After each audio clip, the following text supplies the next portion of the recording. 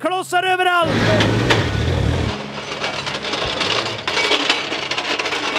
Andre giret går an, så jeg slo bort igjen. Ja, det godt. Ja, jeg prøver å få den til. Dere skal gå til Uniball nå. Hæ? Gå til Uniball bak. OK. Hvor mange minutter har vi? Rekker vi det? Det er ekstra som blir til. Er dere klare dere? Andreas står klar i starten, og da er det 1 minutt og 40 fra nå, tenker jeg. OK. Vi får det til. Det går. Nå er det må. Nå!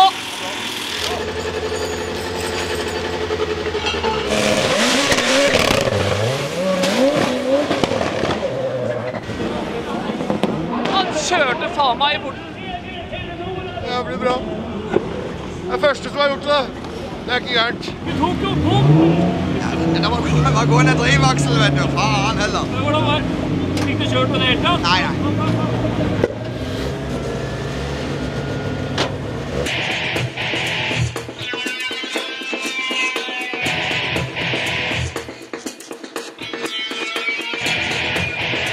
Nå er vi igjen, og heldigvis så kvalifiserte jeg meg i går. Så nå skal jeg prøve å holde igjen litt, så jeg kan slå ut Bjermegrød, og så kan være med til slutt. Og har revansj for i fjor. Og i fjor spruta deler, det var ikke gøy i det hele tatt. Det er Bermingerud du vil slå opp. Jeg må slå han for å komme videre. Ja, så. Aj, aj, aj! Där har vi Guttorm i finalen. Og når du kommer videre fra han, så må du gå mot Da må jeg ta Sverre, og han skulle jeg slått en gang for alltid. skjønner du. Sverre lader voldsomt. Det er ikke første gang han gjør det i Telenor Arena. Har vært borti tønnene før, han. Jeg tror att det er et misstag utover Guttorm det gjorde at han tappa i det här nu for en tunnvändningen. Ja. Så nå er frågan om om det ikke er så att Og gör Og Guttorm vinner! Ai, ai, ai, Han tar revansjen! Jajamensan. Endelig så fikk jeg ta rotta på han, men eh, ja, det var en bra fight.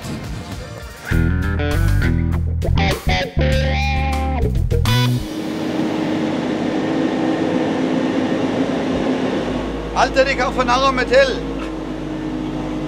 Du er sammen på føremøtet, men nå skjønner jeg hvorfor du ikke er der. Er det før nå? Ja, Du har ikke tid til det, du. Nei, nei, nei, det er jo Leif som har engasjert meg, så.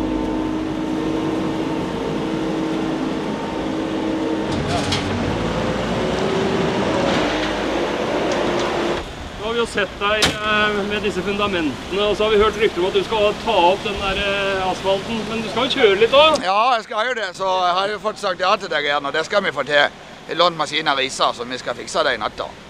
Men det blir vel ei sein natt, jeg regner med. Du blir ikke på afterparty på deg? Nei, jeg gjør nok ikke det. Afterparty blir vel temmelig svart, tenker jeg. Nå har jeg kjørt gaffeltrykk, og etter hvert skal jeg kjøre Skoda. Så bilen skal være skip shape, og jeg tror det blir bra, det. De imponerende hva Leif og de to Solberg-figurene får til. Det skal de faen meg ha. Men eh, om noen timer så er det, da er det konkurranse, selv om det er show. Da skal du vinne. Ja, jeg kjører faen ikke her forbi nummer to. Det er iallfall faen så sikkert. Så jeg, jeg finner jeg eh, skal gi alt for å være der framme som vi skal være.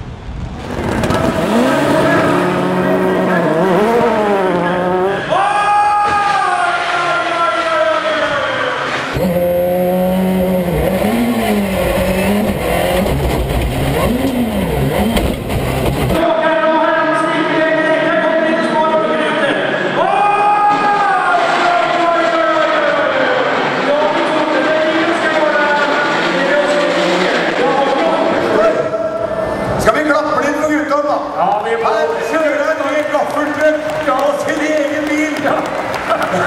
Og varm i vinken kobles til publikum. For et syn! Ja, et syn for guder. Opp på gudene. Og truckkjøreren sitter i kjøredress. Ja.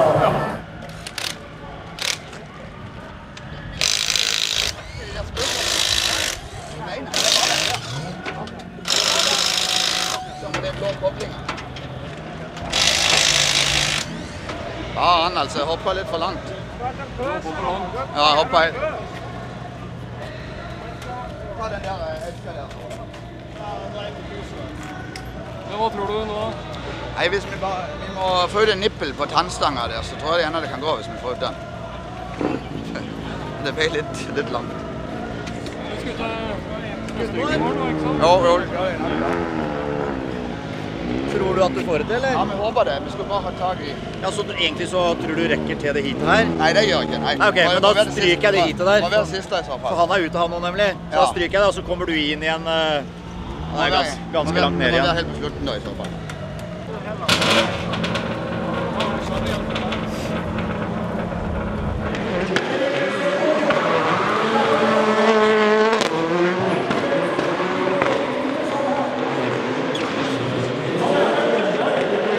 Jaggu fikk den i gang, altså. Ja, vi gjorde det, gitt.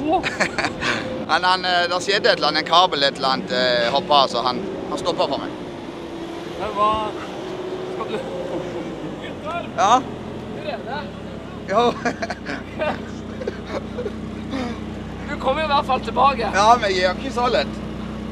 Nei, så Det var litt synd, men jeg fyrte altfor mye. Jeg trodde jeg skulle ha fått en fin bue der, men det ble jo altfor langt. Det ble jo ned på sletta på andre sida.